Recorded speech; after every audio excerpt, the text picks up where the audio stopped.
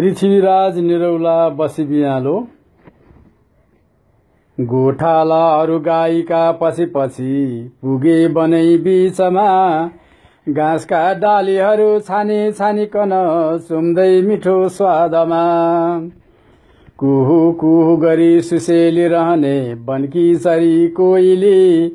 फुत्त फुत्त उडी रुख रुखमा खेल्दै सानी जुरेली।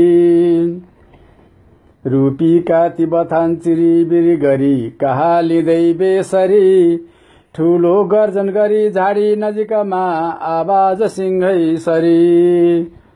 तर्से गाई कुदे डुवा डुवा गरी आपत परे झैँ गरी सिंहको सुरिलो आवाज गुन्जियो चारैतिर वनभरि। गोठालाहरू भाग भाग हुन गए सिंहको गर्जन सुनि ठुल्ठुला रुखमा चढेर तिनले कराए गुहार भनी। हातमा हतियार बोकेर जनहरू गाई बचाऊ भनी। कोलाहल भयो वन बिचमा डुक्रियो सिंहै पनि।